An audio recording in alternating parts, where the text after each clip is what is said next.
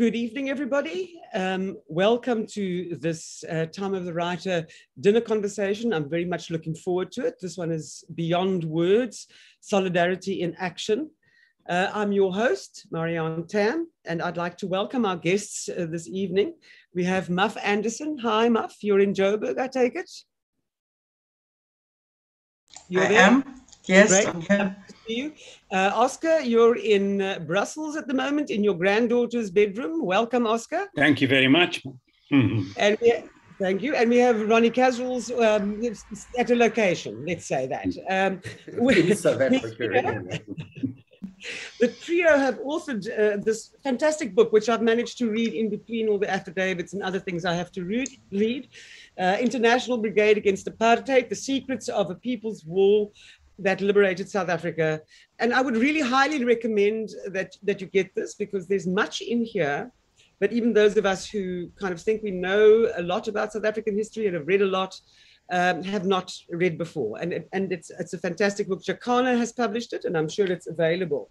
Um, people across over five continents, uh, not even South Africans, uh, risked their lives. Really, they didn't sit behind keyboards. They they actually risked their lives for the for the liberation of South Africa. Uh, at this point, I just want to interject to say it's it's uh, it would be apt to later on this evening contextualize this discussion later on in light of the uh, developments uh, between Ukraine and Russia, and we're very happy to do that. Um, uh, but we'd first like to focus. I would like to focus very much on this book, its meaning, um, and I don't want uh, you know what's happening to uh, overshadow this fantastic discussion and what it means to to show solidarity.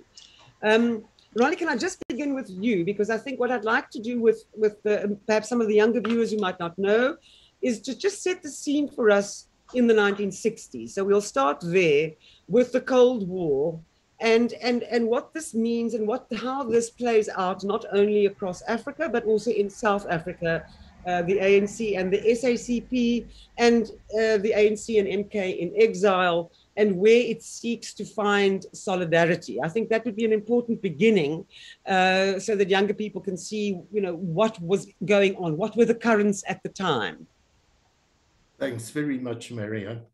Uh, obviously, one's going to have to compress that to a tremendous. Oh, yeah, one does. One does. I'm afraid. Yeah. Rather than a, a, full hour's lecture to I young know. people on that. But just to quickly say that the struggle against colonialism in South Africa, and then against the apartheid version, which was much more extreme from 1948 on, um, had been non-violent, militant over the decades from the time the ANC in 1912, Communist Party, uh, 1921 had come into being.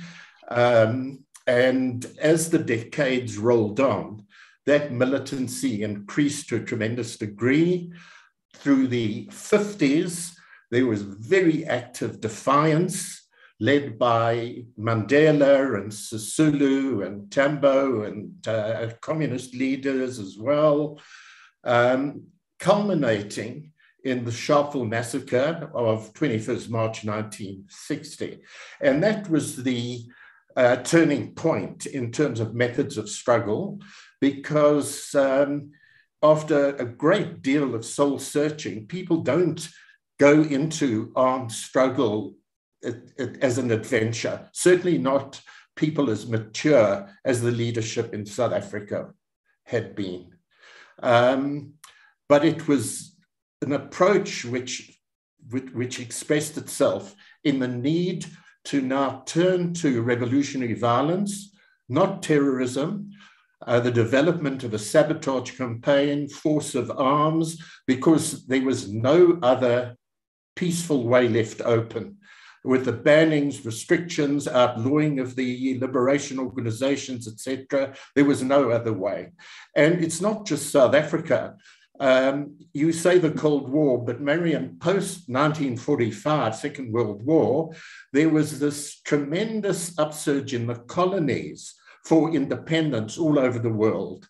And that was very militant in various countries.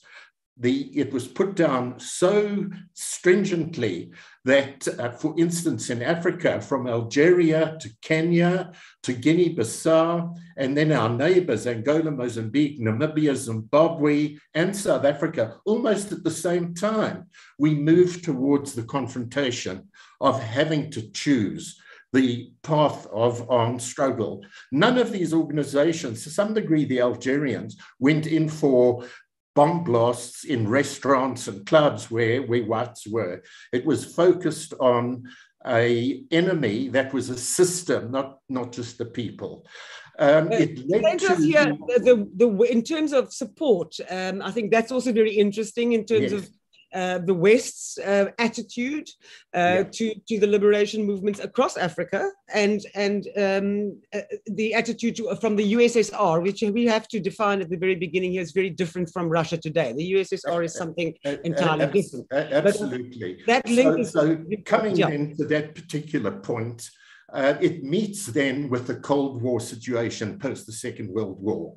Um, and whatever the motive, some people say the, the Soviets and the Chinese and the Cubans were just interested in their own nat- national interests and wanted to influence the third world to, to, to be their allies. But it's more than that, and we are not going to go into it. They genuinely, all those countries, and the socialist camp in, in, in, toto provided the material support, whilst the Western countries in all the, the, the anti-colonial struggles I referred to, the French, the Portuguese, um, and, and the British, they supported the settler countries of the world and they defended them with an impunity and they called us all terrorists. So it was a period of the breakdown of colonial rule.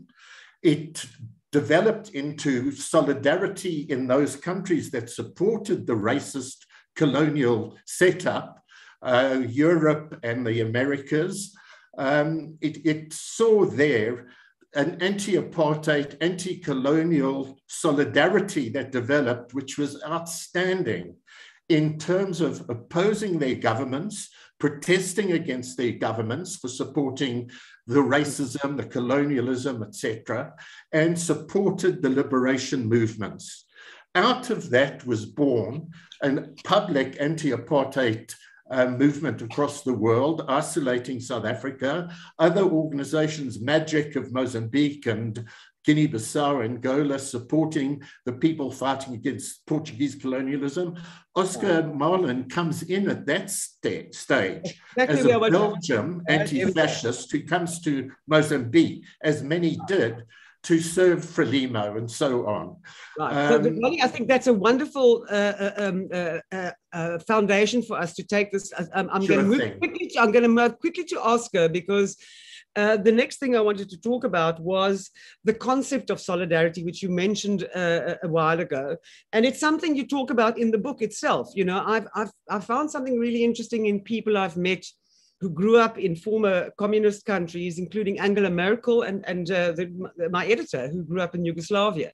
I've noticed with them all that they have a different internal architecture in relation to other human beings. Just Merkel's ability to speak Russian, Merkel's um, decision to take in refugees at that point. There's an interesting uh, psychological makeup, I find, in people who grew up in communist countries, a kind of solidarity in, in a way that's interesting. But you define solidarity here, uh, uh, uh, um, Ronnie. I think this is yours, but then I want to go to, to Oscar about this as serving the, un- the yearnings of humankind um, uh, for, for, a better life is the core of solidarity, is what you say, the spirit of Ubuntu, where we see ourselves in others and uh, identify with struggles and will do what we need to do in order to, to assist any kind of oppression or, or repression. Oscar, um, and Muff also, I'm interested in where people develop their consciousness one way or another. You know what what makes someone become a right-wing fascist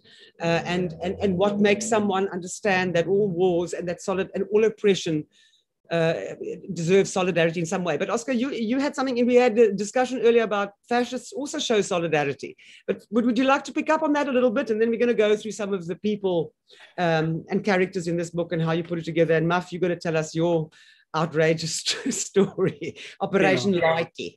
Uh, Oscar?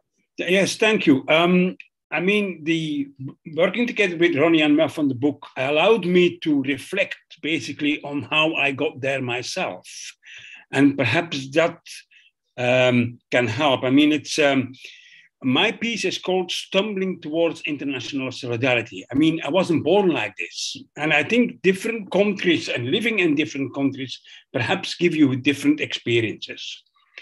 And I think in that process, I, I looked at three different things or three different phases. One is awareness, three is empathy, and the third one is forms of engagement. How do you act upon that sort of thing? Um, I mean, when I think back about my youth and the educational system uh, in which I was brought up in, it gives us a form of identity. And, and the identity that I got was of uh, a nationalist Belgian right? Um, basically, I remember my primary school with uh, um, uh, maps of the Congo on the wall showing all the resources, but with little reference on to what we were doing there, right? So you get a certain, you get taught not just skills, but you get taught a certain identity. You become you become something, you know, and that was a very nationalist reaction to me. Now breaking out of that is, is not an easy thing to do and changing that because the media around us and the schooling around us do not want us to do that, right? So I had certain counter influences that allowed me to look at the world a little bit different. My grandfather was one. Some exceptional teachers were some, were, were one of them. And then traveling and seeing the plight of others was one, because I had the luck to actually move out of Belgium and go to a different country, which was Great Britain. And during the Thatcher period at the time, looking at the trade unions. So um, it's, it's, it's, it's, it, it, it gave me a different way of thinking about the world, right? And it gave me a different identity. Um, um, but which was not an easy thing to do because one feels safe with an identity one the identity one has got right? And breaking out of that is quite it's quite a process. Um, it's like thinking about you know acceptance or non-acceptance of inequality in the world. Um, I don't know if you know the piece by Carmen and Cervoni, um, uh, how in the Inquisitive Mind, published I think it's 2019, uh, how people come to accept inequality as you know just a form of existence you know, it's quite normal, you know, it, it, to accept that, you know, um, there are very rich people and therefore, and they're very poor people, and they all and, and they all deserve what they've got. You know, that's a very wide sort of acceptance, and to break that, we need to become aware. So, I think that's that's a, that's a real challenge. How can we make people, and particularly the youth, and also in South Africa, make them more inquisitive, looking at the background, because that is fading, looking at the history, but also looking forward.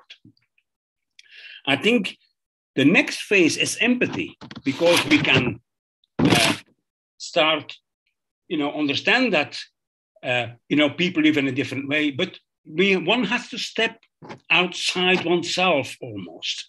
You can't step in other people's shoes, but you can just imagine how in a particular situation, conditions might feel to people, right? Um, and I was very much strengthened in this by working in the working class areas of Liverpool at the time, and you know when I was you know in the, in my twenties, but also particularly in Mozambique because as um, as Ronnie, I went to Mozambique to assist with Frelimo, but my experience of a Mozambican uh, middle class in relation to poor artisans and poor producers was quite something else. It, it, it, I became aware of that.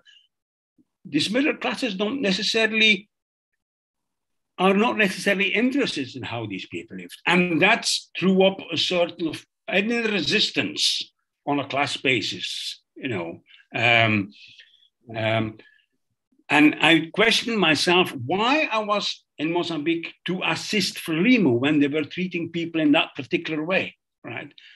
That, that process was very slow and it took some time, but I think I got there. So when I was asked to, to, to work for, um, to, to, to assist the ANC and MK, uh, my first question is, what are you going to do when you when you get your freedom? What is going to be the you know the, the, what is going to, to be the what are going to be the economic policies after that right? And i didn't get a full answer of that. So i was very aware that there were and i was talking to joe slovo at the time and i think that that was very important. Um, in terms of engagement what can you do about these inequalities. And, and, and many people engage through charity. And I, I, think a lot of the NGOs that I got to know afterwards and I worked for, charity and the channeling of money is one way. But really, it's based on keeping the power relations as they are, right? So, um, in a way, one got to go to forms of engagement that changes the power relations in, in society, right? And in the end, that's why I I started. I I, I agreed with Joe Slovo, and, and that's why I started to work for for MK. Okay, let's stop you there. That's my story. Yeah. Okay, that's that's incredible because I think what people who read the book will know, or will not know, or will have known, yeah. is just how much uh, you, uh, you risked along with Muff as well. Muff, if you can come in here now, um, I'm going to talk about the, the you know the, the, the the profiles in the book shortly after this because I think by this time you know our our viewers would would have a sense of, of what we're talking about. But Muff, um, the amount of arms that were brought into South Africa by people um, working with MK is quite astounding. I mean, Ronnie seems to have recruited almost everyone he bumped into in different places, and they're all in this book. They all mention Ronnie. But Mark, please uh, give us a little bit about you know you're you're a South African.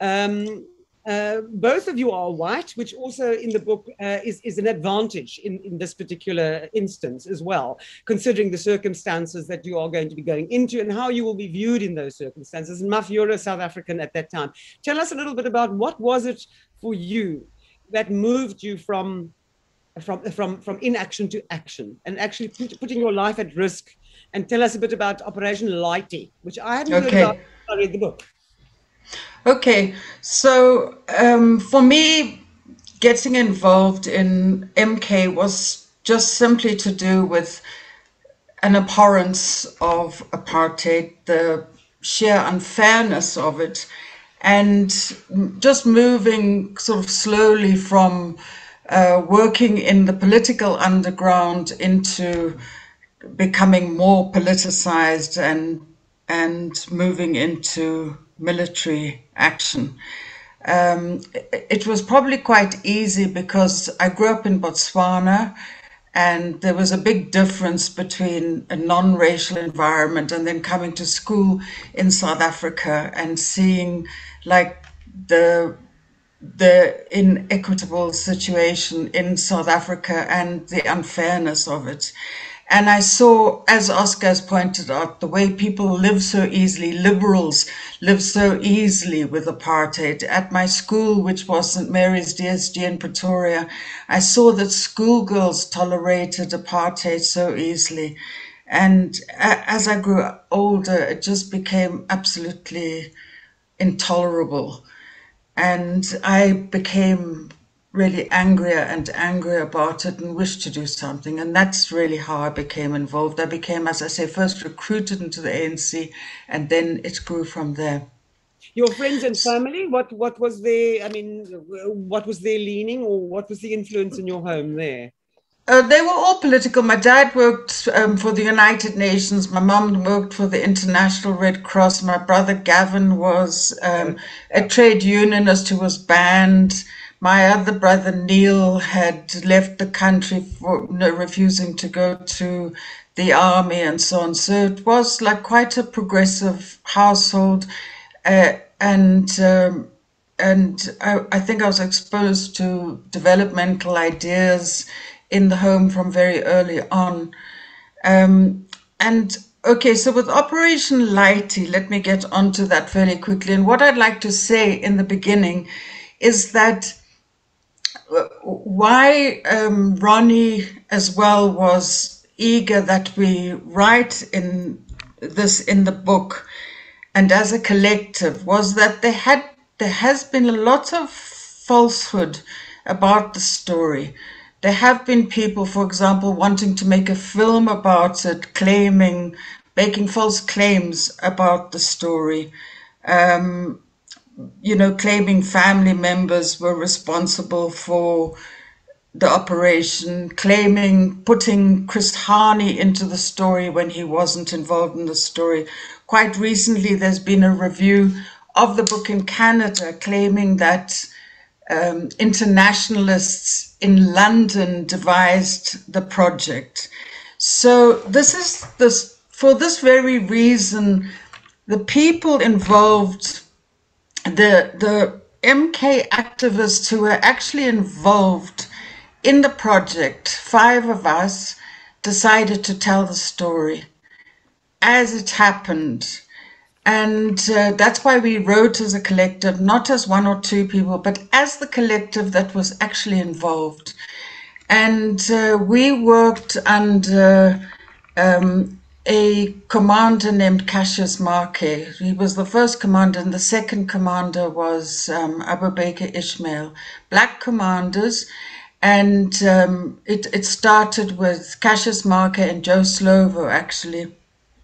And uh, the first person who actually thought of the project was Rodney Wilkinson, South African, in combination with Aziz Pahad.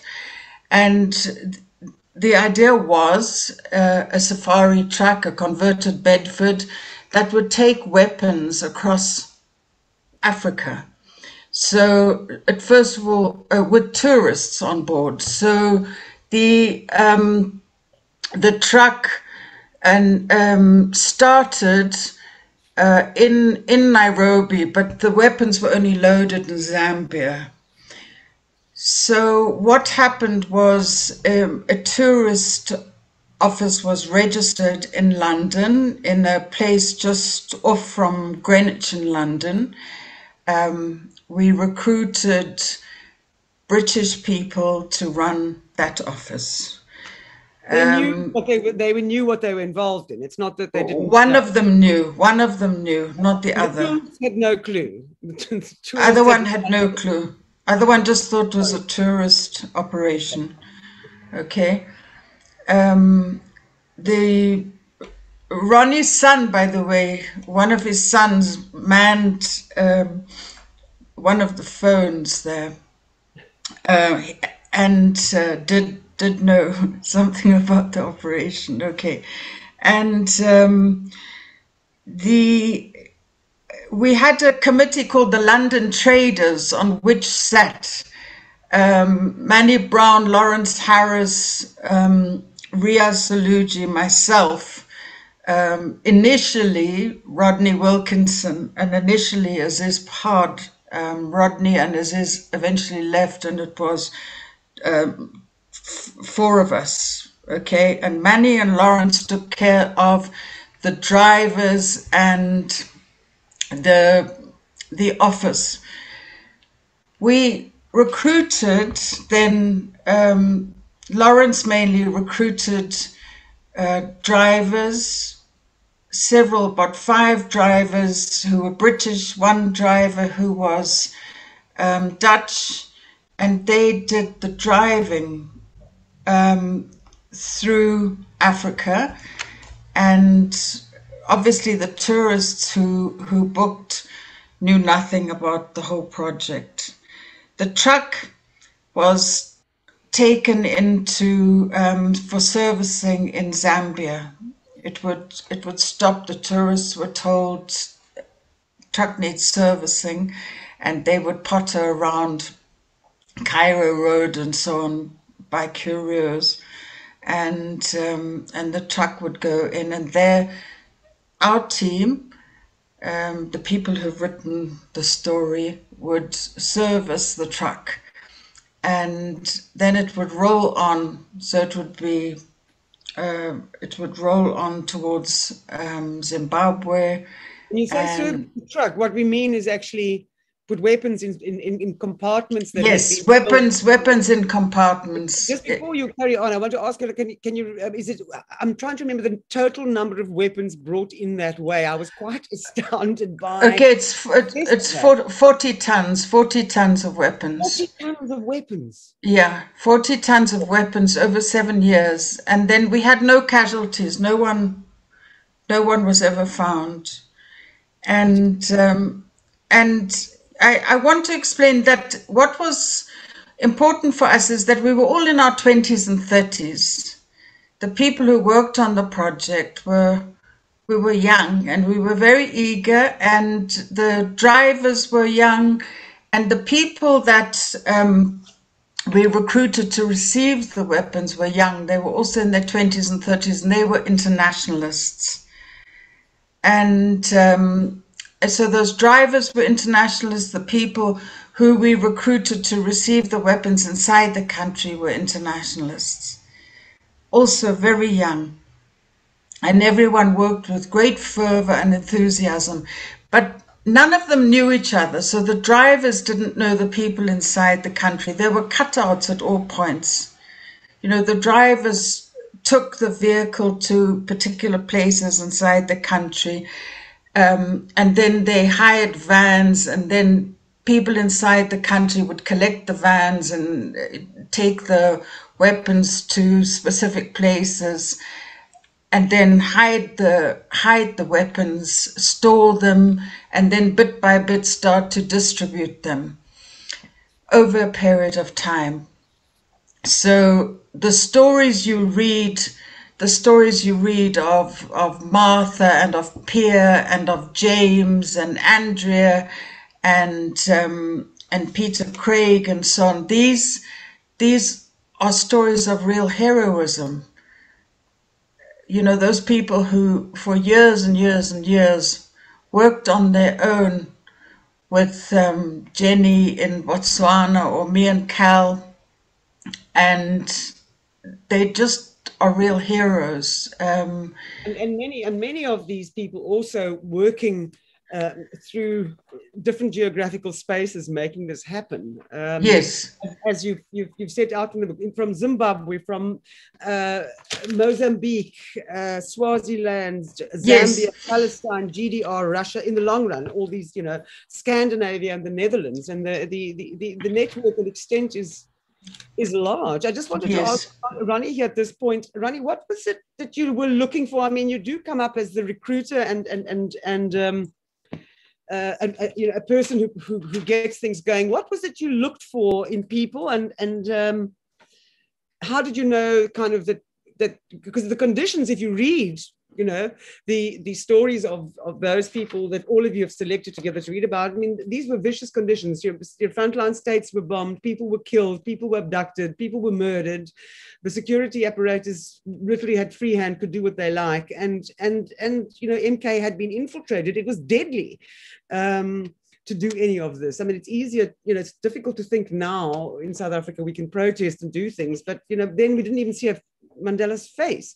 Um, so Ronnie, what what would you look for um, as someone very you know narrowly tied in with this uh, international brigade mm-hmm. um, in someone? Sure. So you know, you jokingly said I seem to recruit everybody I met. Um, well, you know, when really took time. Uh, you don't pounce on people. You have to get to know them. And of course, through the struggle uh, in South Africa itself, you know, before I was in exile, and those who were before me uh, had been recruiting people as I was recruited after the Sharpeville massacre. So you needed to know the person. You had to have somebody who was absolutely trustworthy, um, somebody who would be committed to the work um, would be prepared to sacrifice themselves if necessary. that you could rely on, a person who's disciplined, a person who doesn't spill the beans and brag and talk and drink and then confide in others, a person with a steady nerve um, who could do underground work and be relied on. So you had to really get to know the person. And that initial recruitment would take some time after studying the person in the way I've suggested, and then not pouncing, but through discussion and politicization, getting their views, um, becoming surer, checking if you could with others who know the individual before actually feeling convinced that you could broach the subject. And you would broach the subject gradually, not say, would you be prepared to smuggle guns? You would say, well, you know, you prepared to demonstrate in the streets of Amsterdam or London or New York. Um, what do you think extra is needed? Would you be prepared to do some further work because the movement needs some very special or specific things? And if the person was interested, then you could develop that further. And only at the point where you felt you could rely on the individual, you could start talking the way Joe Slovo talked to, to Oscar as an example. But this was, was the way. So whether one was underground in South Africa or working in a solidarity movement abroad or in Africa, you followed the same kind of approach of recruitment. I mean, that's that's the most important thing because once again, when you read this this book, and I, and there's so many profiles here that it's difficult to you know pick out one. But you know, people like Connie Braam in, in, in the Netherlands with the anti-apartheid movement, and then Operation Vula.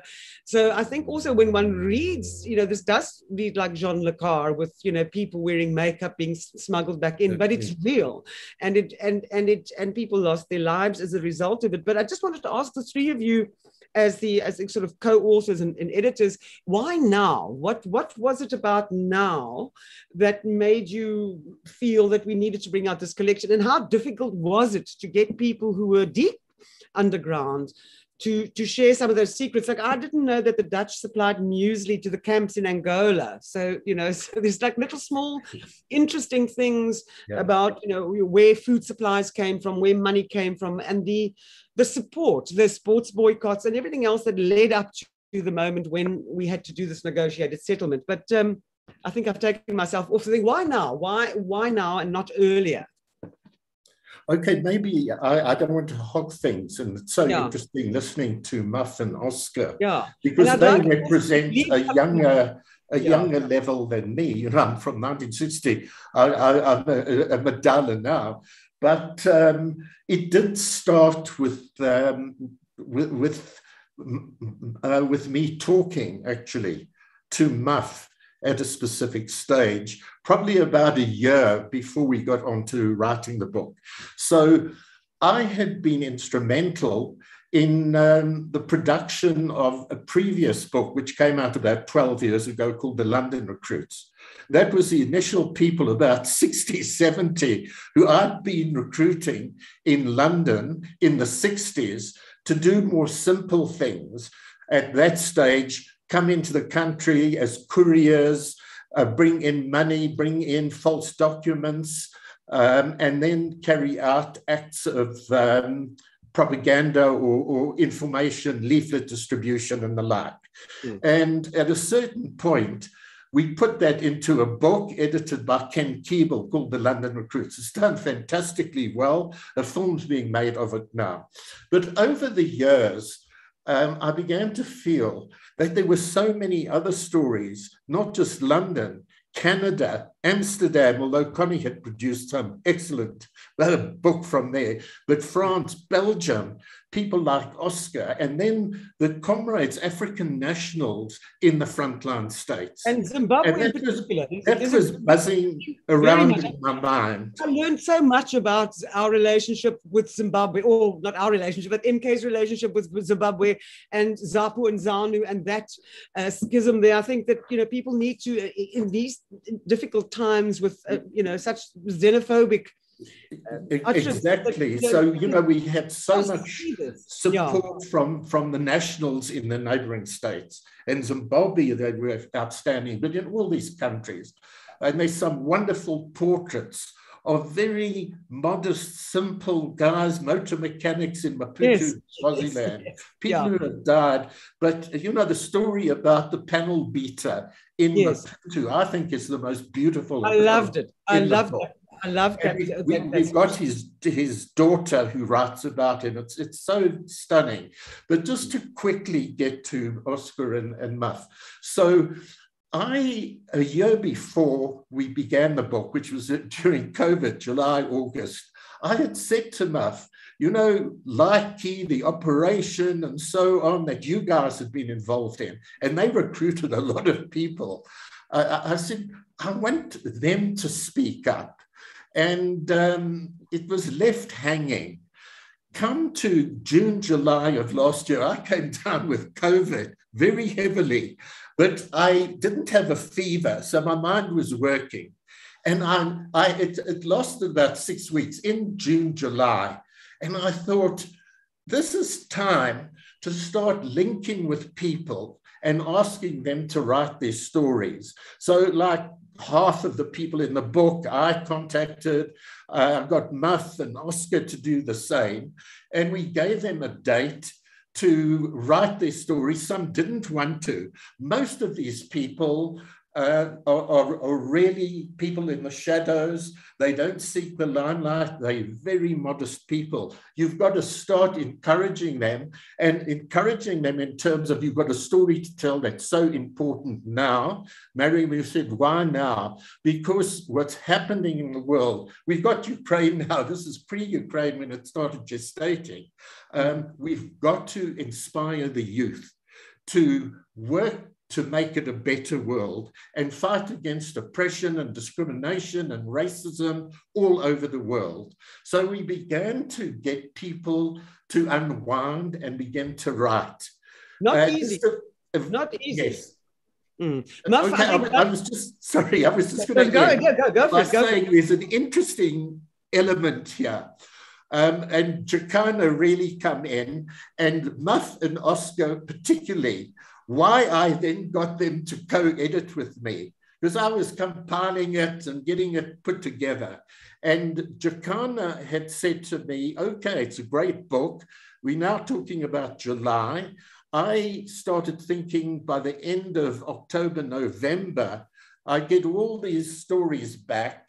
Jacana said, fine, give us the manuscript at the beginning of this year and we'll bring it out by May. So Ronnie, in his COVID phase, is lying back and suddenly gets this crazy notion my God, December 16th is MK's 60th anniversary. Let's try and bring it out then. Uh, so I asked Jacana, and they say to me, Ronnie, yes, it's doable, but we've got to have the manuscript by the 1st of September. You've got you guys have got to virtually do the editing and even an index, and then we can do it. I yes, then turned to I mean, Oscar and I say to them, can so you help years. us do it? And we advanced the deadline for all the contributors. They moan and groan, but we did it. We brought it out and it came out in, in December. I want to warn us, we've only got 20 minutes remaining, right. and I'd like to hear from Oscar and Muff um, a little bit, but I also would like us to, before we move into talking about Ukraine, to try and explain uh, to audiences what the emotional connection is between African countries and the former USSR. Um, you know, it, it, it, it what that um, means and how it plays out now in our responses uh, to what is happening uh, at the moment in Ukraine and Russia. And Ronnie, you did say you wanted to chat about it a bit, but I'd like to just chat to, to Oscar and, and Muff about how hard it was to get um, people who used to work in secrecy and put their lives at risk and and and some who were tortured and others to, to talk about a time that's not easy to talk about. Oscar maybe you can give us uh, some indication of what that was like. Uh, yes um, i mean it was i mean as ronnie said people are first of all modest. They thought what they were doing was quite a normal response to a uh, to apartheid for something you know from a, a system that had to be changed. So there's not really much to say to the outside world that something they did, that something they thought was absolutely necessary, and let it be like that. So to, I had to encourage them to say, look, but the outside world is forgetting what's happened, and particularly the, the youth in South Africa is, is forgetting what's happened. Um, and and as, as Ronnie as, as Ronnie pointed out, um, so it took some time, and and particularly um, people who got heavily involved didn't want to have a book of all whites happening and being involved in apartheid. They wanted the book actually uh, pointing out that internationalism was not just white; it came from the the frontline states as well, and I think that was very important, right? Mm. Um, and that it you know, it's as Ronnie said, it's not a balanced approach, but at least we, it, it encompasses a broad spectrum of people who engaged in very many different ways in that struggle. Um, so we had we had quite a number of discussions in the beginning about whom shall we include and whom shall we not include, um, not just MK but also other forms of, of engagement. Um, and not just on one level, on, on the level of civil society, but also in the in the United Nations and things like that. So we try to sort of at least try to cover these different aspects. Yeah. And it's great, and you've managed to succeed yeah. because it's quite astounding the depth of support yeah. and, and yeah. what people would muff. Um, um, anything on you know what is it? Is it people are just so accustomed to to not talking Secrecy. about the past? Mm. Yeah. Um, okay from my side, we found some people wouldn't talk. Um, some people refused to participate in the book process. One person who worked for the UN refused to participate. We had to really urge someone, for example, like Martha, who's an Anglican priest now, to go on the record, but once she did, she felt it was quite a healing process. Some people who had never ever received counseling after all these years or even been debriefed found it extremely traumatic and cried as they wrote their stories. Um, I think even us, you know, like so called hardened guerrillas who had recruited people found it hard to tell our stories. Um, so there is all of that, and obviously, like a lot of healing needed after a book like this, and you realize that a lot more needs to be done and processes gone through. Some people from overseas wrote their stories, especially the Dutch ones and Belgian ones, wrote their stories four or five or six times and kept rewriting them as they weren't happy and didn't feel they had completely captured them. On the issue of Russians, I'll just say this quickly.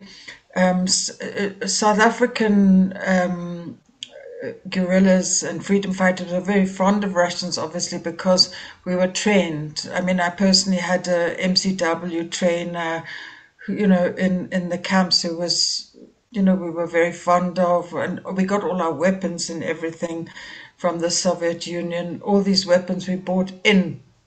A lot of the, those came from the Soviet Union, so we always felt we couldn't have won um, the on the we couldn't have got as far as we did without the Soviet Union, and so we were very uncritical. And uh, probably it was only when um, Joe Slovo wrote How Socialism Failed that there started to be even a critique of socialism. And um, I think, uh, you know, it was very much later when we started to realize that um, there, there was like a lot of corruption in Russia. It, it took a, a long time.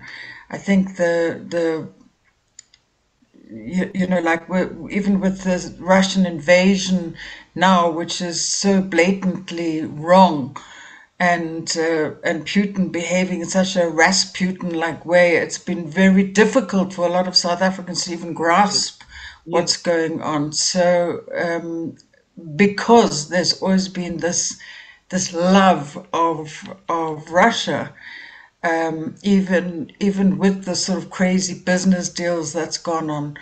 Um, but I mean, I, I, think Ronnie would like to address that. But but I also think at the same time that there has been this problem with the whole world not dealing properly with Russia, and uh, and and turning it into a bit of a polecat. Europe not dealing properly with Russia, not not embracing it, not not uh, calling it into the EU and um, and uh, dealing with it properly, calling it to account, you know, just letting it go on like a, a sort of uh, post Cold War, um, or just allow, allowing the Cold War to continue, really. So, yeah, that's my feeling about it. it um, yeah, I, I, mean, as we said earlier on, you know, Putin's Russia is not not the Soviet Union at all. But um, yeah uh, uh, Ronnie, and also uh, Oscar, if you if you have something to say, we we haven't got much time left, about 15 minutes, which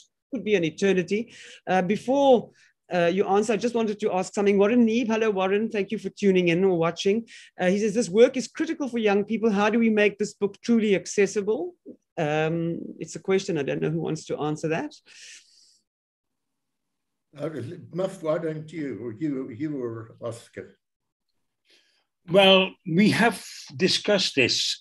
I'll just, although very, very briefly. Um, um, I, think it's the whole question about, you know, being inquisitive about your past. And I think if, if I think about the, uh, if I listen to what is being taught in South African schools on their history, nothing very much has changed. And I think we could really do something in terms of um, engaging the youth and, and discussing and debating different aspects of their history as well as different aspects of what is coming going to come in the future, like the whole question of climate change, conflict, and all that sort of thing. I think we we can develop something like that because we have developed something in Flanders here that is used in schools. So that is, and I've been involved in that. So that that that that is one thing we can do. Um, so I, I, I think we can we can take that forward because if you see also look at Liliesleaf Farm, who is a museum. I mean, the museums are closing. People are not going there. Mm. Um, um, the, the, youth is not going there, and, and that's and that's a real pity, right? Um, and I think it's part of creating democratic practice and active citizens in South, in, in South Africa to do this because I think that is really important. You know, uh, making people think about their past and about their futures and how to engage with the present day South Africa. Hmm. I think that, that is, very yeah. important. I think uh, we often get up uh, caught up in the chaos of palace politics everywhere, and we forget yeah. that this work needs to be done yeah. on the ground. And this book, for me, should, should be in every school library. There's another book I'm launching this week called "Spoiled Palace," which is very funny. It, it levels the playing fields and mm. shows you that all politicians are bastards in the end, I suppose, not ideologies. But um, Ronnie, um, you mentioned that uh, we, uh, I would like to have us discuss Ukraine and Russia and South Africa's response to it and our emotional ties to the Soviet Union and, and how that perhaps gets in the way of us being able to make a decision right now as a country on, on what it is we should be saying and doing in relation to this war. Just to think about the emotional ties, um, it was the Soviet Union. And whatever the faults and the weaknesses, you trained in the Soviet Union, be it in Moscow or Odessa, um, and the people who trained you were not just ethnic Russian. Uh, the most popular instructor we had in Odessa, 1964 65, was an Armenian uh, political instructor. He was just out of this world. I write about him in my book, Armed and Dangerous. And there were many people from all over the Soviet Union, but of course, Russian speaking. So when we trained in Odessa or then others later in the Crimea, this was all regarded as absolutely part of Russia, not just you know Ukraine. Uh, but we couldn't distinguish whether the person we were talking to, and sometimes the recruits in the Russian recruits or Soviet recruits, whether they were Ukrainian or Russian. Um, so it, it worked to quite a degree. And then the support that they gave us. And I can tell you, Marianne, the guys who trained us in 64, 65 had been these officers who had fought the Nazis from the gates of Leningrad, as it was called, Moscow, and Stalingrad, Volgograd, right through to Berlin. And they were compassionate, they were humorous. They told us how, when they crossed into Germany, they were given instructions not to harass the local people. And one of these guys said he came into a farmhouse and the German woman, the mother, was drowning her babies in the bath. They had to stop her. And she said, because she was told the Russians would come and eat them up, this kind of stuff. So, of course, there's tremendous affection. But, you know, we've seen the collapse of the Soviet Union. We've seen Yeltsin, Boris Yeltsin, who sold the country's assets to the West. And then we see Putin, um, and he's an autocrat and he represents a kleptocracy, the oligarchs.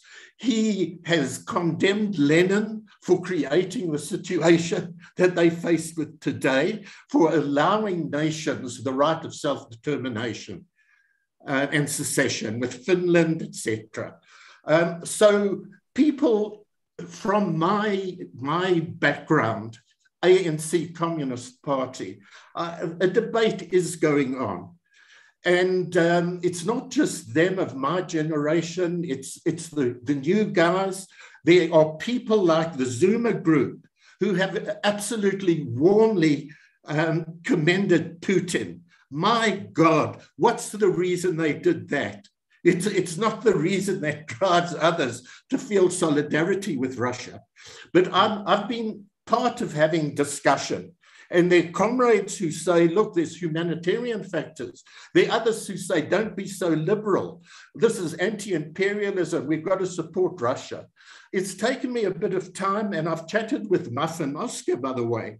And I, I am absolutely clear. And I believe that Lenin and true communists would say that you cannot invade, and it absolutely is against international law and it's against humanitarian law. And I condemn the invasion. I do understand, and we need to bring it out, the role of the USA, the absolute hypocrisy of the West, what they come to do in terms of NATO, which Warsaw Pact was dissolved in 1991 with the Soviet Union. Why does NATO exist? Because it's wants to deal with Russia. They want the resources. They want to want to Boris Yeltsin there. Putin is standing up for particular reasons of the oligarchs and using the, his propaganda. Um, but we've got to see through that. And in terms of that, um, we do bear in mind that the opening shots of war, it doesn't mean that the first person who was shooting is actually the aggressor. What was, comes before? What's the history before? So, yes, they're wrong to have invaded and to now be bombing cities and frightening people. And, and you know, half the people who have gone to, to, to Poland are, are children. This is absolutely abominable.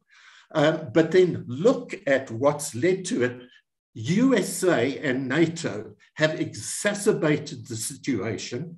What they're doing is hypocritical. Ask the Palestinians. Um, sanctions, we say sanctions against Israel um, for what Israel has done and bombed Gaza, etc., etc. How you, on earth can we condone that? But okay. yes, it yeah. must stop and Russia must be condemned. Putin, I believe, has done the Russian people the disservice because when they say Ukrainians and Russians are sisters and brothers, my goodness, they're playing into the hands of imperialists and those very same Nazi neo fascists, and they are in the Ukraine, who will get support now because people see Russia as the aggressor. Mm. It's extremely complex. And we spoke earlier on this evening, the International Criminal Court has just issued, I think, uh, I'm not sure what one calls it. Um, but interestingly enough, the United States is not a signatory to the International Criminal Court. Exactly. So, you know, do you think this will rearrange the way the global world order works? Because it works, because the hypocrisy is so obvious. But you know, it has always been. You know, in, in World War II, you know, Europe is a genocidal continent. Fifty-five million people died on that continent. That's more than are alive in South Africa today. And those ancient histories bubble along. But do you think that younger people or today that this shows us that we need a different way of approaching conflict and a world solidarity and you know to, financial systems need to change is this a moment and, and, perhaps all three of you can just end off with is this okay, a moment yes because we, we should get a view from oscar and and yes. I, i'd just yes, say please. in relation if yeah. only that could happen mm. if only it could happen what we see and why I remind people to look at NATO and the US motives and moving up onto the Russian border, that the propaganda machine of the West, of imperialism, of the former colonial powers, from CNN to the BBC to even Al Jazeera, it's one way propaganda flow.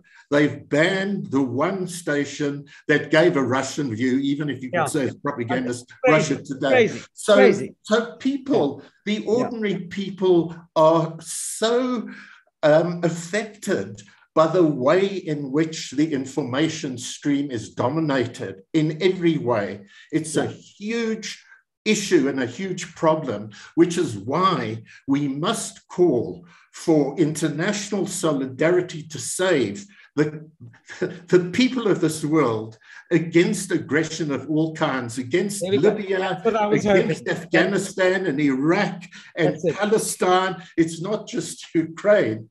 And that's the struggle. And even if we are a small voice in the wind, and the hurricane that comes from Boris Johnson and Biden and company and Macron. We have to organize and raise our voices. We've got to get Russian people and Ukrainian people, the ordinary working people. This was the case in the First World War. We, yes. you know, uh, wonderful people from Germany, um, the poets and the Brechts and people like that into the Second World War.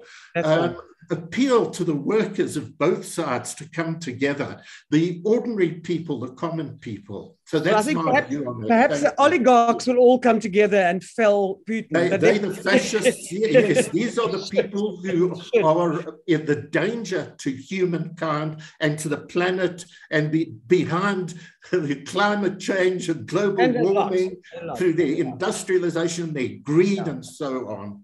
Muff. So that's, uh, that's then, what I say. Thanks very then, much for having me. Right. uh, Muff and Oscar, if you have just a few parting uh, uh, um, sentiments about here and now and, and, and, and what it is that's happening. Muff?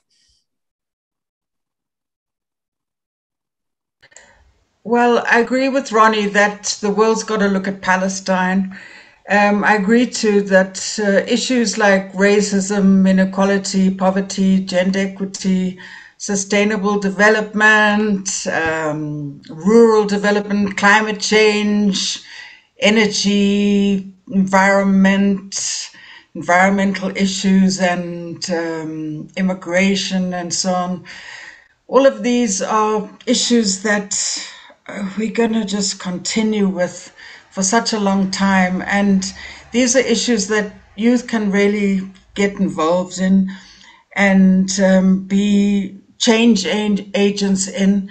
And I think the, the real challenge now is that uh, to to ensure because the right uses these issues a lot of them as much as the left uses them a lot of them and you you have to really be sure as as youth that you're not getting involved with really fascistic organizations.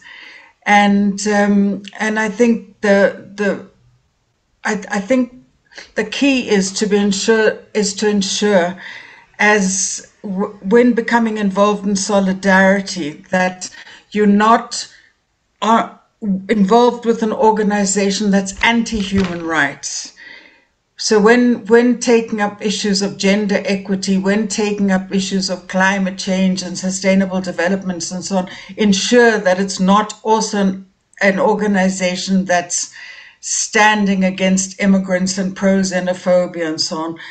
I would just say that. That's very, very important. Such an important observation to make because it goes exactly into internationalism and solid, human solidarity. Oscar, mm. a few words before we go, and I have really, really enjoyed this conversation with all three of you. I just want to say because we'll certainly go off, and I really do recommend highly, highly, highly this book. Every library should have it. Mm. Oscar. Yes, I, am just wondering how oligarchs from the East and, and from the West think about this issue.